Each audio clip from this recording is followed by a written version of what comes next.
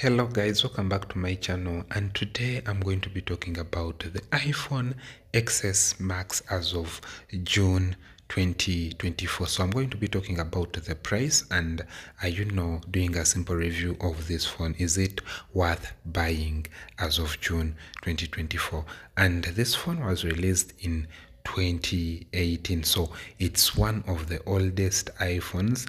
Uh, you know that's going to be receiving ios 18 in 2024 and this is an iphone xs max. So this phone you can still get it when it still has its original but you know a good screen a good battery and that's a good sign. And this phone still delivers even in uh, mid 2024 this phone takes decent competing photos. And as you know uh, sometimes our photos are determined by you know the software the phone is running. And this phone still gets software update it's going to get iOS 18 which is quite a good deal. And this phone goes for 750 dirhams for people in the UAE and that is 190 dollars. This phone has really reduced in price. This phone was one of the biggest iPhones to ever be released. This was a huge iphone for people who like big phones but this phone in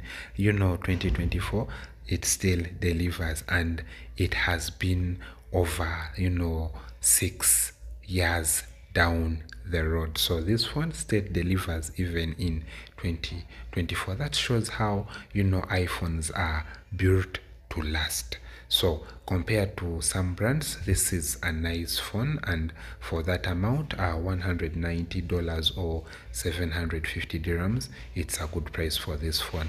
It still gets software updates and it feels nice. The glass back you know that notch and the face id this phone feels modern.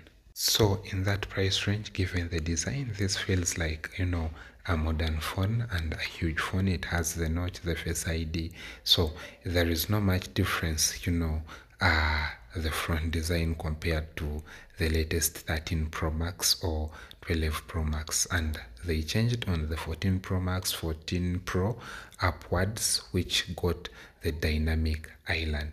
And for that amount this would be a nice phone and it still delivers in 2024 as um you know, giving it credit for being one of the oldest flagships to ever be released, and it can still perform even after many years. And this is a nice phone uh, built to last so and if you're a person who's in that budget range uh, this phone you can try it out and uh, you know experience uh, the old iphone design. If you're that person who doesn't you know like you know moving with the current phones and you like to stick to that old you know og design this would be the phone to go for for those people who like you know uh old og designs. This would be the phone to go for the iphone xs max and you get it at you know uh 750 dirhams which is a nice price.